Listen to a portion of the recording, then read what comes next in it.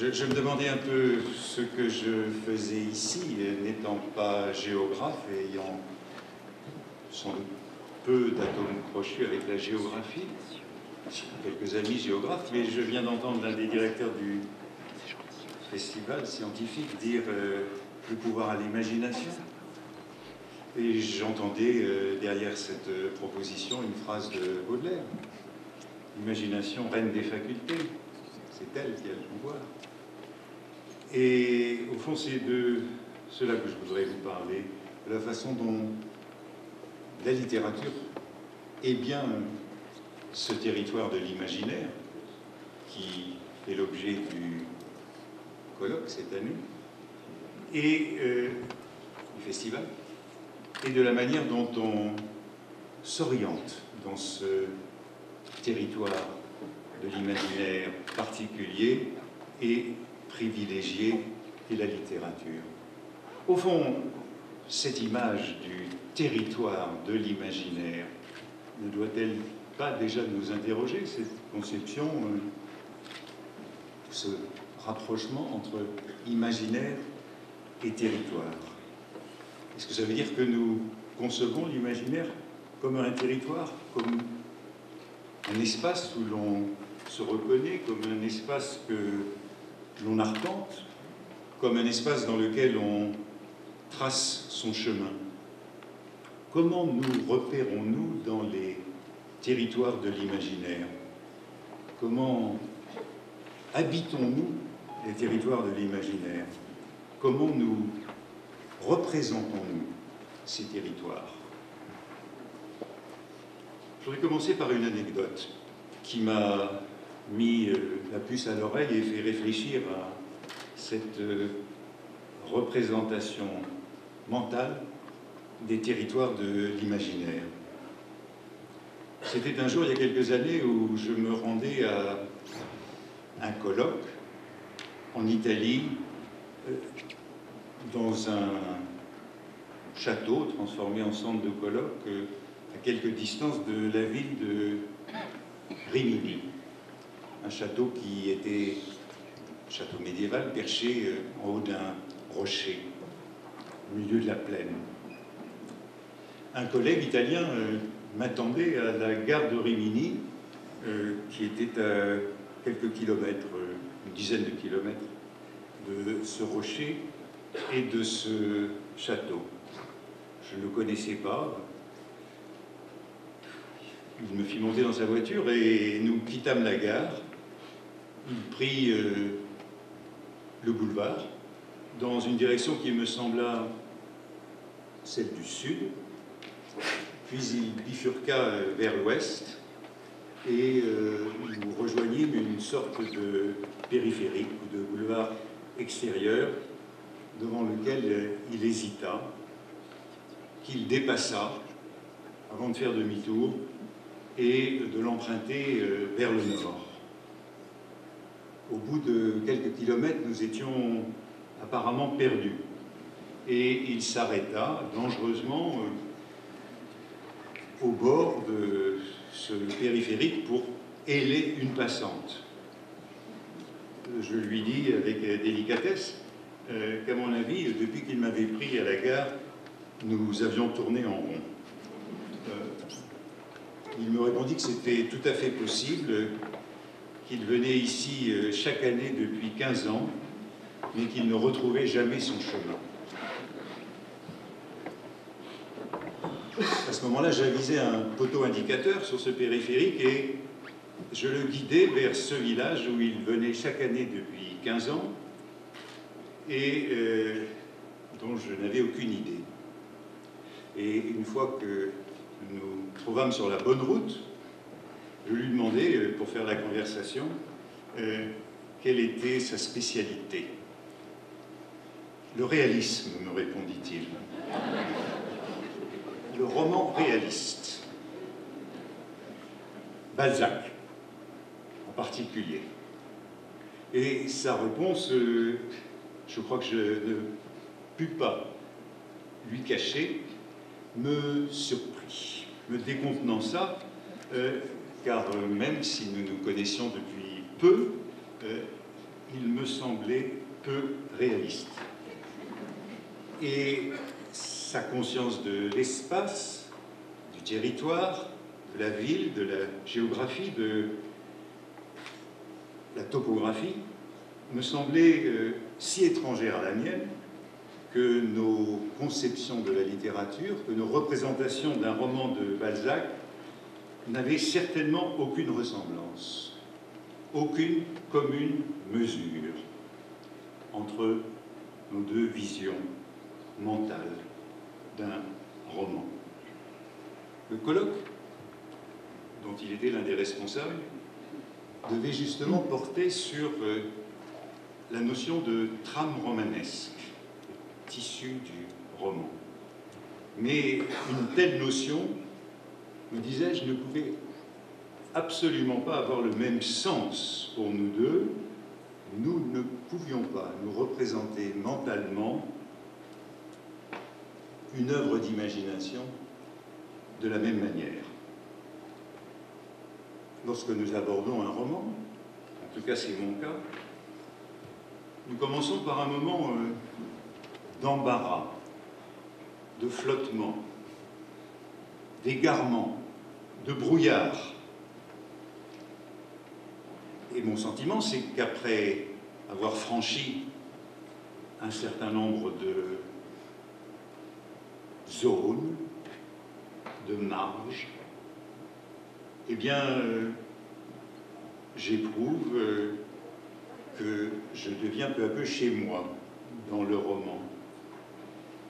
Et je soupçonnais que ce brouillard initial, mon collègue, ne les dépassait pas, ne le dépassait pas, mais peut-être en même temps que ce sentiment de, de flottement, d'égarement, ne le gênait pas, ne l'inquiétait pas. Et je me disais en même temps que ce sont exactement les mêmes émotions, impressions que je ressens lorsque je découvre une ville étrangère avant de m'y reconnaître. Mais pour un lecteur qui n'a pas le sens de l'orientation, comme on dit, propos de la géographie, de l'espace, un roman ne ressemble peut-être pas à une ville, à un territoire, à un parcours, à un espace qu'on parcourt, dans lequel euh, on se déplace, qu'on habite, dont on maîtrise petit à petit euh, le plan par la pensée, dont on construit une représentation mentale à deux ou à trois dimensions, et dont on découvre euh, à chaque nouveau parcours de nouvelles perspectives, de nouveaux points de vue. C'est ce que dit Proust des jardins, des verdurins, à la raspelière, que chaque fois on en découvre une perspective différente. Et c'est en même temps ce que beaucoup de lecteurs de Proust ressentent, qu'à chaque fois qu'ils abordent le roman, ils traversent un nouveau territoire, découvrent de nouveaux points de repère et, au bout du compte, lisent un autre roman. J'imaginais donc que mon compagnon se représentait un roman de Balzac très différemment de la manière dont je me représente un roman de Balzac. Et que pour lui, euh, c'était une sorte de labyrinthe euh, brumeux de la première à la dernière page, s'il ne s'y retrouvait pas davantage autour du périphérique de Rimini nous arrivâmes à ce rocher où avait lieu le colloque et qui s'appelle Sant'Arcangelo.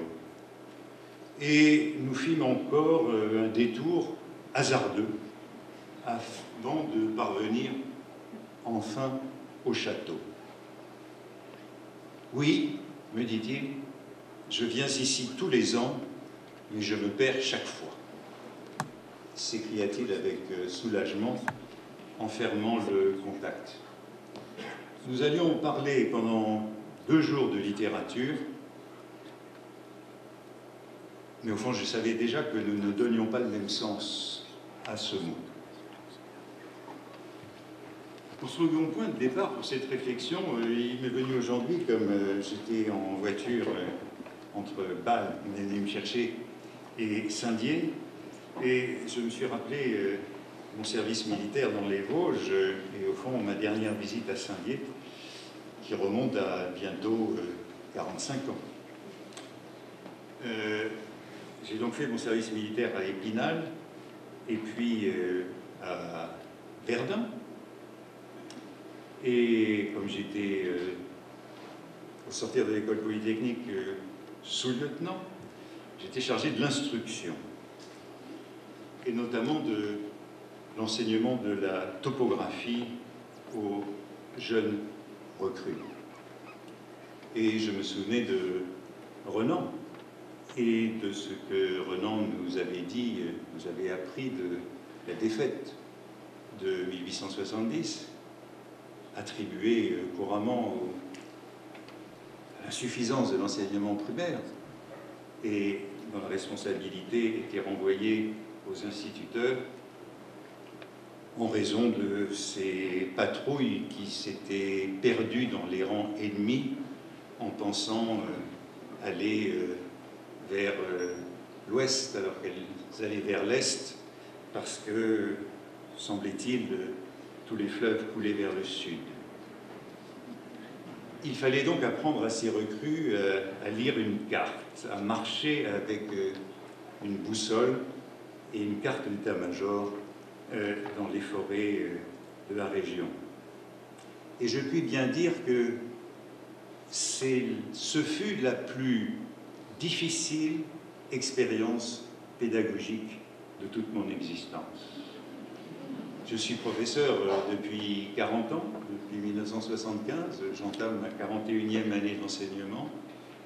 Et je crois que la meilleure formation euh, pédagogique que j'ai jamais eue, ça a été cette tentative pour apprendre la topographie à une section de jeunes recrues françaises il y a 45 ans. Lire une carte, marcher avec une boussole et une carte d'état-major, je crois que au bout de la période où je devais enseigner cette compétence, j'avais perdu toute ma section. Ce qui m'a même à demander si le sens de l'orientation est euh, inné ou acquis, et dans les territoires de l'imaginaire et dans les autres. Proust parle à diverses reprises des oiseaux migrateurs et de leur sens de l'orientation. Moi-même, euh, je viens après euh, trois générations d'officiers, je ne suis pas officier, mais peut-être que le sens de l'orientation est passé peu à peu dans les gènes. Je me souviens, dans mon enfance, euh, avec euh, mon père en voiture, me donnant la carte Michelin, et il n'était pas question de ne pas savoir lire une carte sans avoir jamais appris ces cartes Michelin au moins 200 millièmes dont on avait euh, toutes les feuilles pour parcourir la France dans une boîte. Je n'ai jamais appris à lire une carte, mais comme beaucoup, j'étais obligé de m'exécuter. Et j'ai souvent torturé des compagnes en les mettant à la place du mort et en leur donnant la carte à lire. On se demande souvent si le sens de l'orientation est masculin ou féminin. Un certain nombre de chercheurs travaillent aujourd'hui sur cette question, d'ailleurs. Je fais partie de ces gens qui ont toujours le sentiment de savoir où sont les points cardinaux, où est le Nord en particulier. J'ai l'impression de ne pas me sentir à l'aise dans aucun territoire si je ne sais pas où est le nord. Et pourtant, ce sont là des compétences, lire une carte, s'orienter avec une boussole, qui, euh, dans notre monde d'aujourd'hui, deviennent de plus en plus, comment dirait-on, irrélevantes, non pertinentes, non nécessaires. C'est un peu comme d'autres compétences que nous avons perdues, comme euh, la règle de 3, la règle à calcul d'abord, mais après la règle de 3, bientôt la division, bientôt l'orthographe, puisqu'on n'a plus besoin de l'alphabet pour consulter un dictionnaire. Euh, nous circulons avec des GPS et nous n'avons plus tellement besoin de savoir lire une carte. Et nous avons toutes ces cartes au bout de nos téléphones. Vous évoquez euh, mon petit livre sur les splines numériques et j'étais très déçu de constater que mon dernier gadget numérique, qui est une montre Apple Watch, n'a pas de boussole. Pourquoi n'a-t-elle pas de boussole? Ben, Probablement parce que nous n'avons plus besoin de boussole dans le monde contemporain. Or, euh, le sens de l'orientation reste indispensable dans la vie et, me semble-t-il, pour lire. Le sens de l'orientation, c'est ce même euh, flair qui nous fait déplacer dans tous les territoires. C'est par exemple le flair qui nous fait déplacer dans les bibliothèques. C'est l'instinct du chasseur. Et dans le monde numérique, le flair est de la même façon indispensable. Faut y déambuler, y flâner, chercher et trouver. Et je ne voudrais pas me vanter en disant que le sens de l'orientation, je l'ai toujours eu, sans doute n'ai-je jamais appris à lire une carte, mais la plus dure épreuve de toute mon existence, c'était la géométrie descriptive. Discipline qui, elle aussi, a bien disparu, et discipline bien française. Et c'est le véritable test de la maîtrise de l'espace, la résolution des problèmes d'intersection et donc entre volume et surface définis dans l'espace à trois dimensions. Beaucoup de nos compétences dans les territoires réels et imaginaires tombent donc en désuétude.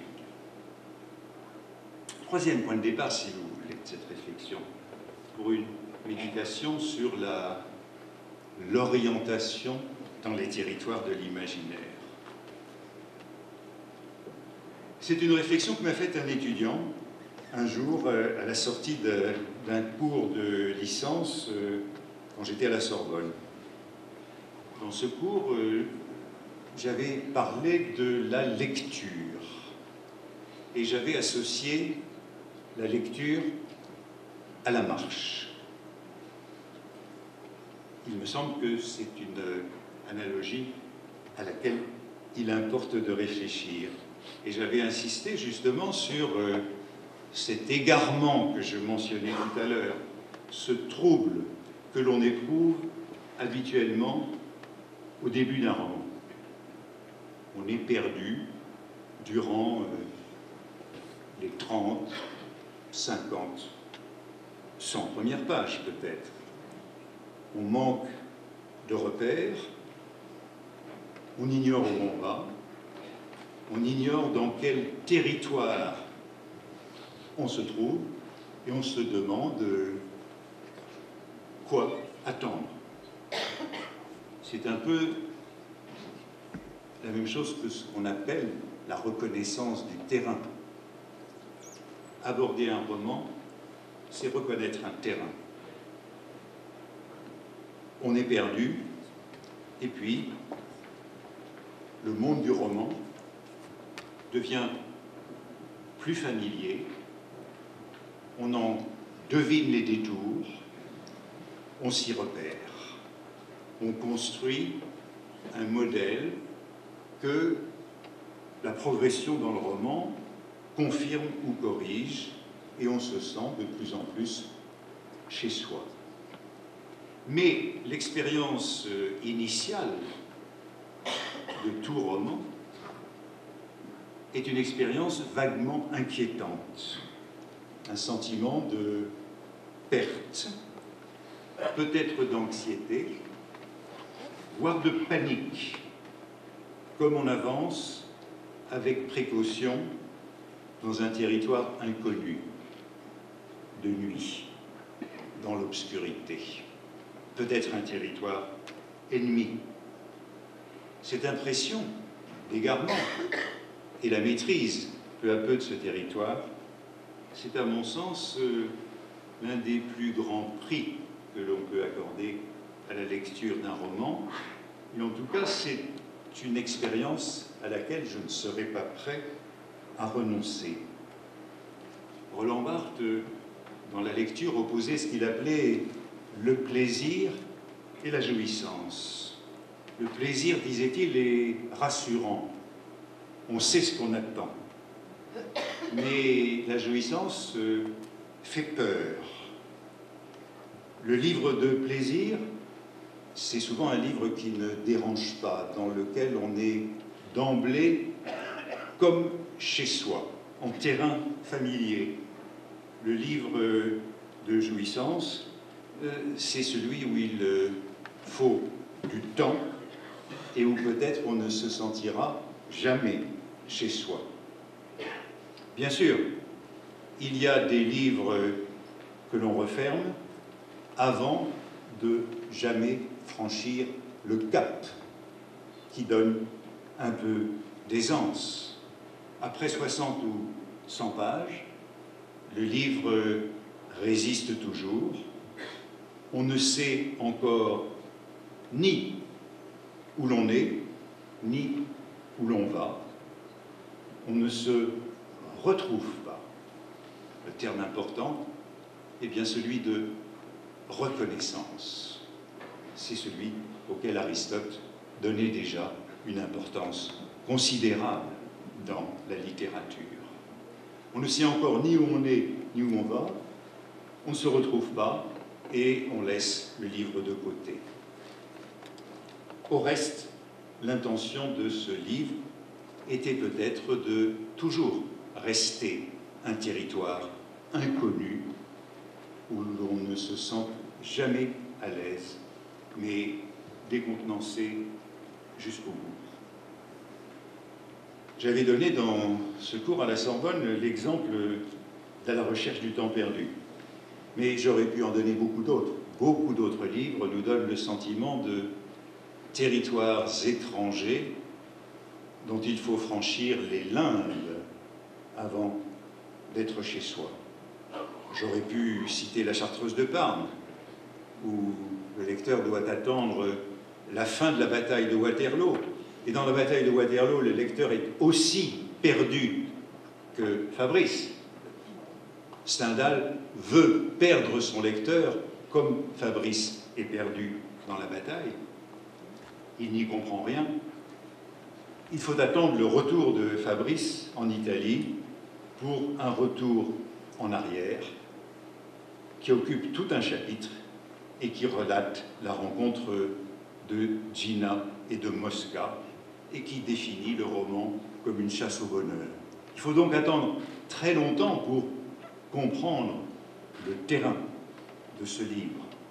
Et Balzac, d'ailleurs, qui connaissait bien les règles du roman, avait suggéré à Stendhal de supprimer tout ce début et d'entrer directement dans un roman où l'on se reconnaissait. Dans le roman de Proust, dans Gombré, le lecteur est perdu pendant au moins 30 pages, jusqu'à l'épisode de la Madeleine qui relance la quête des souvenirs par le narrateur suivant un modèle plus chronologique. C'est le récit des chambres que le narrateur euh, se rappelle au moment de se réveiller dans n'importe quelle nuit. Et puis, à partir de la page 30, au lieu d'être aléatoire, le récit devient à peu près chronologique et le restera jusqu'au bout. Je vous rappelle ce début qui montre bien comment ce roman de Proust est conçu comme une exploration d'un territoire. Un homme qui dort tient en cercle autour de lui le fil des heures, l'ordre des années et des mondes. Il les consulte d'instinct en s'éveillant et il lit en une seconde le point de la terre qu'il occupe. Oui, ce que Proust analyse au début du livre est exactement le sentiment qu'on éprouve, que le lecteur est en train d'éprouver, c'est-à-dire ce sentiment d'égarement, il ne sait pas où il est au moment de se réveiller. Il consulte d'instinct en s'éveillant, il lit en une seconde le point de la terre qu'il occupe, le temps qui s'est écoulé jusqu'à son réveil. Mais leurs rangs peuvent se mêler, se rompre. Mon corps, trop engourdi pour remuer, cherchait d'après la forme de sa fatigue à repérer la position de ses membres pour en induire la direction du mur, la place des meubles, pour reconstruire et pour nommer la demeure où il se trouvait. Expérience que nous connaissons tous, de nous réveiller dans un lit étranger et de prendre quelques secondes pour récupérer son identité. Et il s'agit bien donc de perte de l'identité et d'égarement. Il s'agit de s'orienter au réveil dans un roman qui explore tous les territoires de l'imaginaire. J'avais donc beaucoup insisté dans ce cours sur cette analogie du roman et du territoire étranger, voire hostile, et du prix de cette expérience, du caractère irremplaçable de cette expérience. Or, euh, après le cours, un étudiant vint me dire que quand il avait lu euh, du côté de chez Swann, le premier volume de la recherche du temps perdu, il avait lu dans l'édition Folio et qu'il avait commencé par lire la préface, que cette préface lui avait été très utile, lui avait servi de guide, de mode d'emploi, pour comprendre le territoire du roman, lequel du coup ne l'avait pas du tout déconcerté quand il y était entré. Il s'était senti d'entrée de jeu de plein pied dans le texte de Proust, malgré euh, la puissance de dérangement de l'œuvre, qui a été dûment notée par euh, tous les premiers lecteurs de 1913, qui se sont sentis perdus dans ce livre et, qui ont dû attendre jusqu'en 1927 le temps retrouvé pour avoir euh, la carte du livre.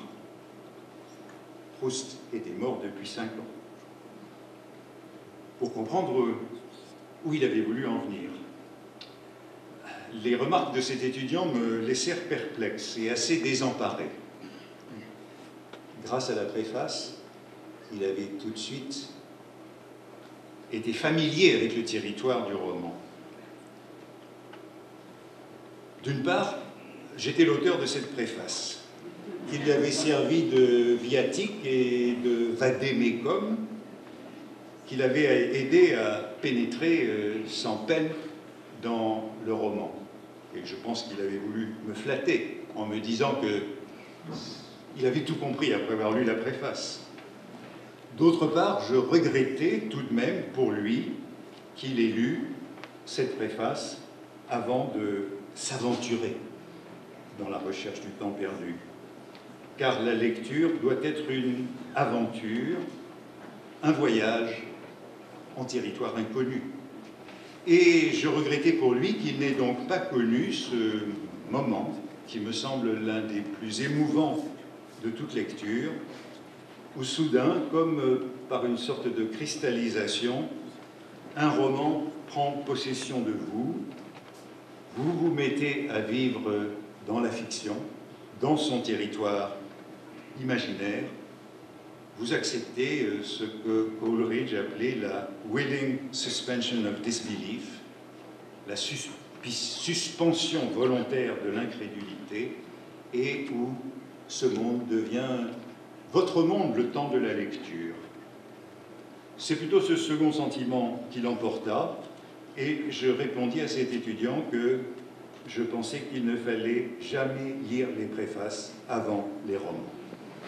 Que la sortie des limbes du début d'un roman, c'est le moment le plus excitant, et que j'aimais trop traverser ces zones d'approche qui préludent à la décision du genre de roman auquel j'ai affaire, que c'est pour moi sans doute qu'est là la vraie jouissance de la lecture et aussi de la relecture, car euh, ce désarroi premier, on peut l'éprouver de nouveau. Ainsi, je crois, la société se divise entre ceux qui lisent les préfaces avant les romans et ceux qui lisent les préfaces euh, après les romans, sans compter ceux qui ne lisent que les romans et ceux qui ne lisent euh, que les préfaces. Quant à moi, je ne lis jamais les modes d'emploi jusqu'au moment où j'ai cassé la machine et où je suis bien obligé de le consulter. Tout cela renvoie donc à la manière dont nous prenons connaissance euh, du roman, de la littérature comme territoire imaginaire. Pour la poésie, je crois que c'est un peu différent. C'est-à-dire en marchant, comme dans une ville inconnue, parfois avec un Baedeker, Proust, découvrant Venise, se promène avec euh, Raskin. Euh, il m'est arrivé de me promener à Saint-Pétersbourg avec, euh, avec Dostoïevski ou à Dublin avec Joyce. Et l'une des expériences les plus excitantes, me semble-t-il, c'est celle de la découverte d'une ville la nuit. J'ai besoin de voir une ville nouvelle, de découvrir une ville nouvelle au moins une fois par an, de débarquer dans une ville nouvelle et au fond sans jamais utiliser de guide, puisque c'est là qu'est le plaisir, et sans demander son chemin, en découvrant tout seul. Et je goûte trop l'intimité qui se crée peu à peu sur ce fond d'obscurité et d'inquiétude, d'errance, de dépaysement. Je crois que l'un des plus grands plaisirs, c'est d'arriver de nuit dans une ville inconnue, partant de brume,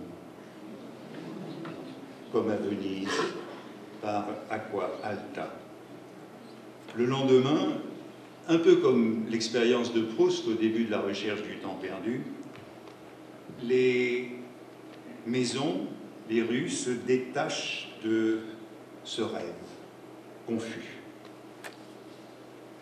les meilleurs romans pour moi sont comme euh, Venise ou Tokyo, des villes où les plans ne servent à rien. Je me souviens de la première découverte de Venise, quand j'avais 15 ans, que j'avais été amené par mon père.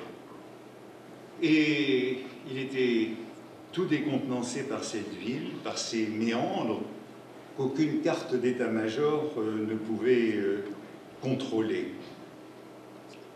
À Tokyo, je me souviens aussi d'un jour de soulagement ou d'émerveillement quand j'ai compris que les Japonais étaient aussi perdus que moi dans leurs rues qui ne portent pas de nom et qui n'ont pas de numéro.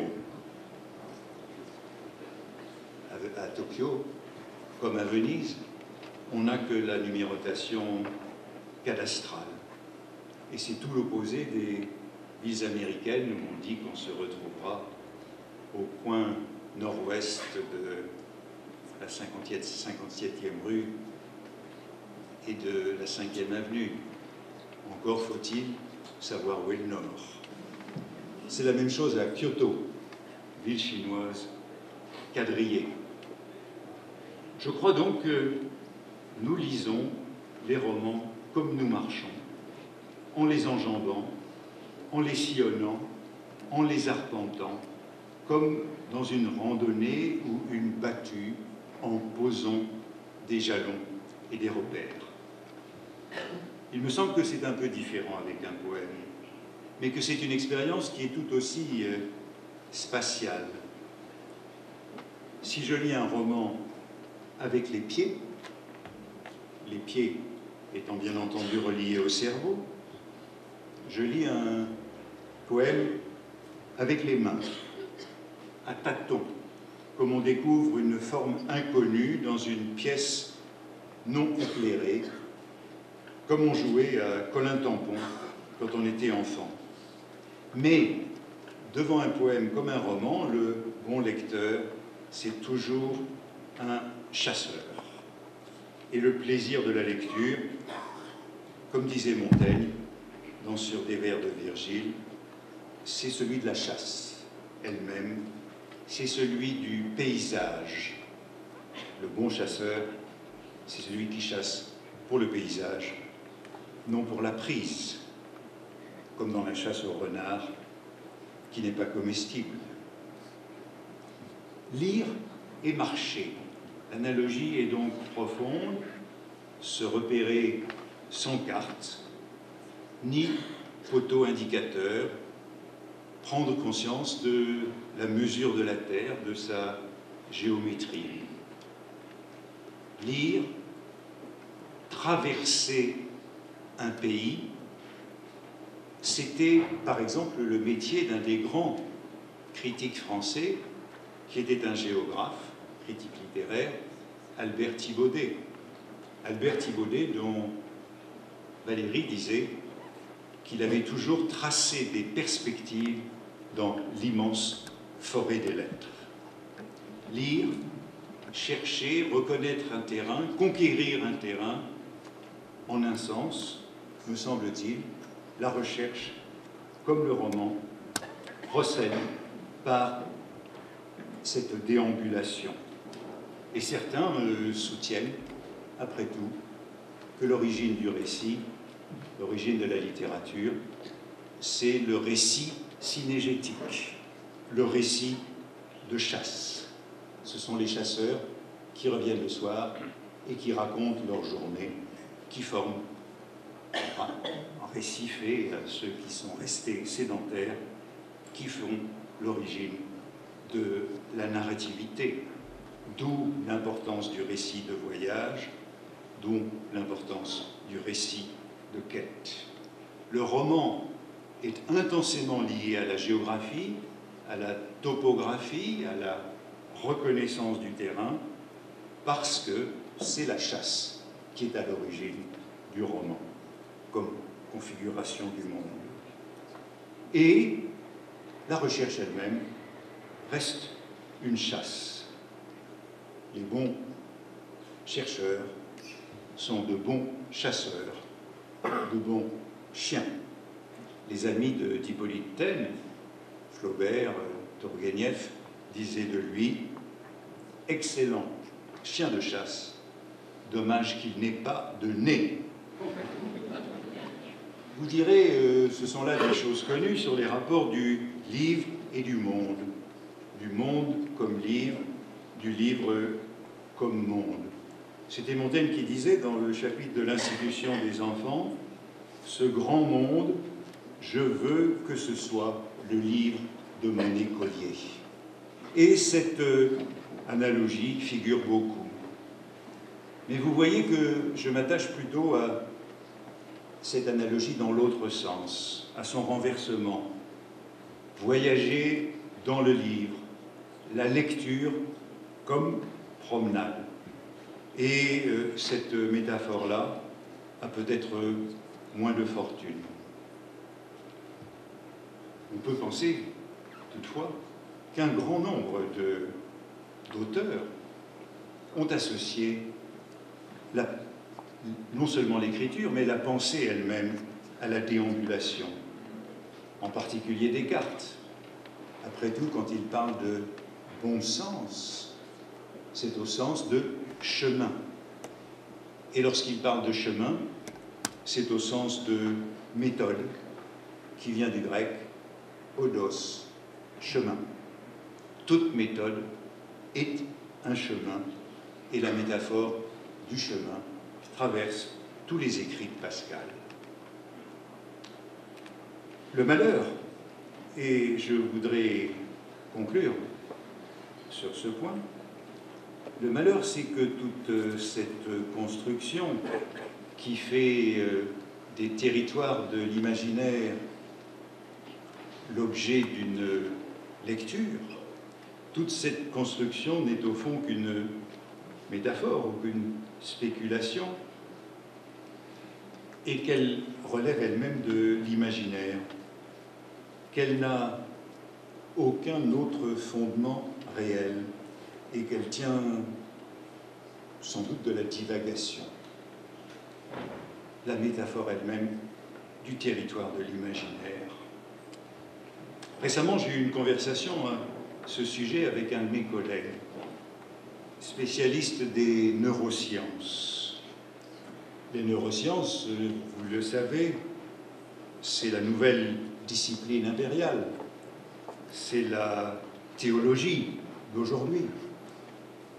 Toutes les autres disciplines sont passibles d'un traitement par les neurosciences. Je voulais l'interroger sur cette métaphore et il m'a répondu que tout cela n'avait pas grand sens puisque le langage et le sens de l'orientation résident dans des zones toutes différentes du cerveau. L'hémisphère gauche, l'air de Broca et de Wernicke pour le langage et la lecture, l'hémisphère droit, le, cortex entorhinal pour l'orientation dans l'espace. Vous avez peut-être remarqué que l'an dernier, le prix Nobel de physiologie, dit de médecine, a été attribué à trois chercheurs pour euh, la découverte de ce que l'on a appelé euh, le GPS intérieur. John O'Keefe de l'University College London, près de 40 ans après sa découverte majeure en 1971 de ce qu'il a appelé les cellules de lieu dans l'hippocampe, qui sont les bases physiologiques de notre mémoire spatiale, de notre navigation, de notre géoposition par un système présent dans le cerveau. Proust parlait de boussole intérieure. C'est une vieille métaphore que celle de boussole intérieure. Schopenhauer l'utilisait, disant à chacun, chacun doit trouver sa boussole intérieure. Eh bien, la boussole intérieure, il semble qu'on l'ait désormais trouvée, et ce Nobel était partagé avec deux Norvégiens qui ont montré l'existence des cellules de grille, c'est-à-dire des neurones activés régulièrement au sein d'un même espace lorsqu'un rat se déplace à l'intérieur d'une pièce. Et ces cellules, cellules de lieu, cellules de grille, quadrillent l'espace, créent une représentation mentale de l'espace sous forme de quadrillage.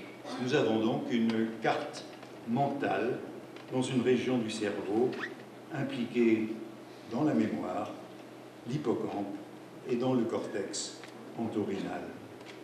Les bons navigateurs, ceux qui ont le sens de l'orientation, stockent automatiquement des repères sur leur chemin, tandis que ceux qui ont plus de difficultés à se diriger suivent souvent une procédure ou un itinéraire fixe.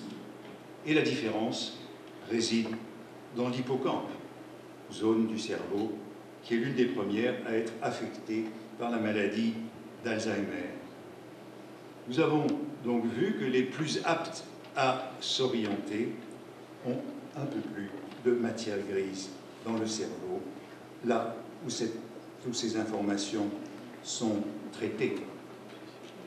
Le lien entre système d'orientation et mémoire spatiale est donc aujourd'hui bien établi. Et il y a eu, il y a quelques années, une fameuse étude sur le volume important de l'hippocampe chez les chauffeurs de taxi londoniens, hein, qui calculent en permanence des itinéraires. C'est une étude qui a été récompensée, je ne sais pas si aujourd'hui, avec euh, la lutte, j'étais à Londres ce matin, les titres portés sur les conflits entre les taxis et Uber, comme dans d'autres pays, je ne sais pas si l'hippocampe des futurs chauffeurs Uber sera aussi développé que celle des chauffeurs de taxi londoniens traditionnels. En tout cas, l'objection cognitiviste est là. Il n'y aurait donc euh, rien à voir entre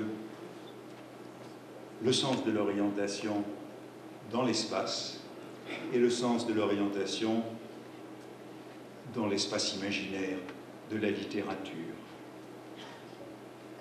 Est-ce que cette différence pourrait aussi expliquer la distinction que j'évoquais tout à l'heure entre les compétences euh, masculines et féminines, les femmes lisant plus de romans, ayant plus de difficultés avec les cartes routières Il semble que certains chercheurs soient en train de le vérifier. En tout cas, je ne suis pas prêt, quant à moi, à renoncer à mon idée que le sens de l'orientation, c'est ce qui nous fait nous déplacer dans la littérature et c'est ce qui nous fait tirer plaisir de la littérature. Et tant pis si ce n'est qu'une métaphore que les neuroscientistes désapprouvent. Merci.